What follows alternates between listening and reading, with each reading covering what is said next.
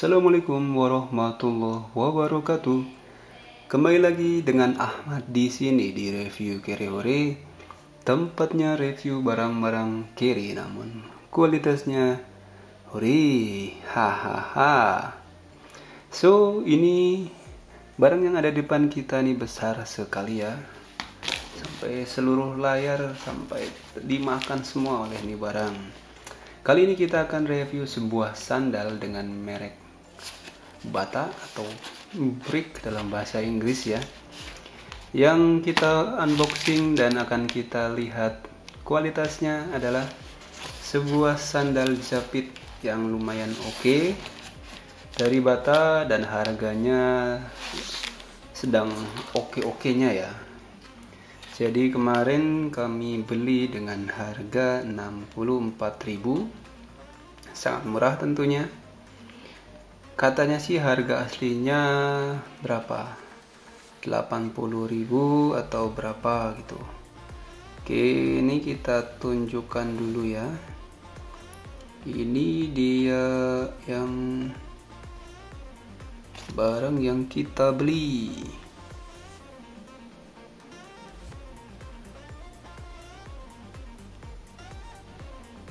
Nah ini jadi barang yang kita beli ini adalah sandal apa nih? Bata Smith sandal pria warna navy ya. Ini harga aslinya mungkin 80.000 pada saat kita beli harganya sedang promo-promonya. Sedang promo jadi kita cuman kena harga 64.000 ini penampakannya ya Oke, kalau dari penampakan di tokonya sih oke sekali ya. Wah, ini mantap kan? Tapi oke lah nanti kita lihat, kita unboxing, kita lihat seberapa bagus barang yang kita beli. Kali ini apakah cukup worth it dengan harga 64.000 ketika kita gunakan untuk keperluan sehari-hari. Oke, tanpa berlama-lama lagi, paketnya baru datang hari ini jadi pengiriman sekitar tiga harian. Hmm semoga bagus ya kualitasnya ya. Oke langsung kita unboxing. Oke bentar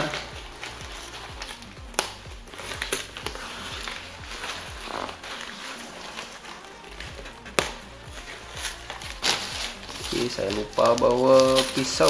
Kita langsung seperti ini buka kita buka oke ini dia barangnya.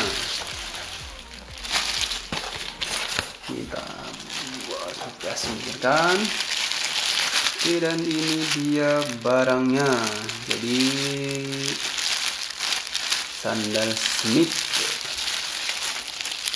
Kita lihat ya.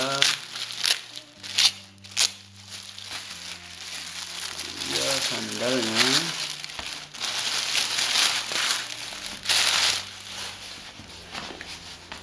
Oke, okay, so ini dia uh, sandal yang kita beli. Oke, okay, kita coba lihat detail ya. Ini apa nih? Ini ada gantungannya nih. Tulisannya patah. Ini patah atau bata ya sebenarnya ya.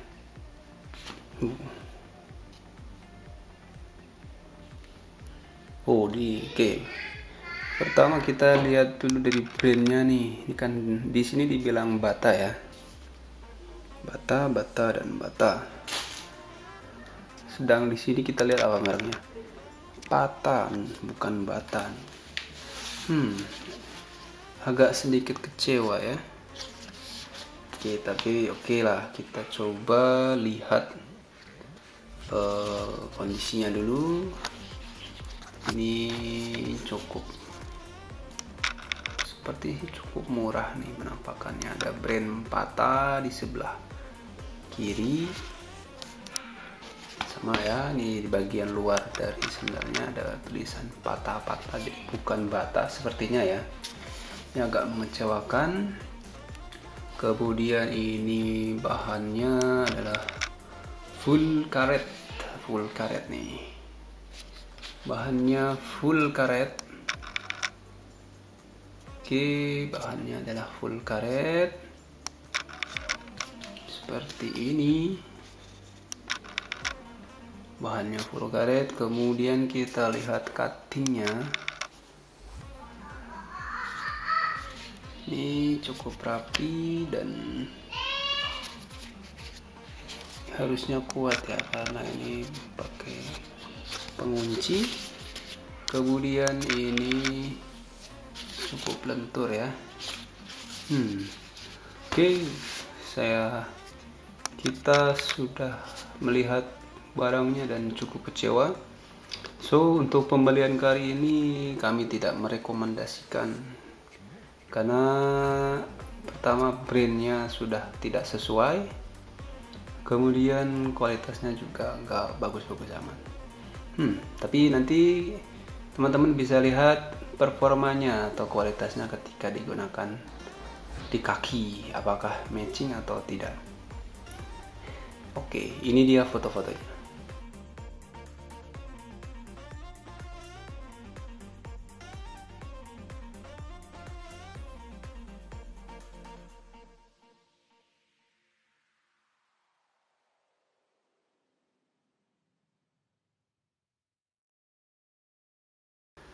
So itu dia review singkat untuk unboxing sandal yang katanya bata tapi kita dapatnya patah dari blibli.com cukup mengecewakan. Huh. Tapi bagi teman-teman yang memang puas dengan harga segitu dan yang didapat segitu, teman-teman bisa cek untuk deskripsi yang sama di blibli.com. Ahmad dari review Kerehore undur diri Wassalamualaikum warahmatullahi wabarakatuh.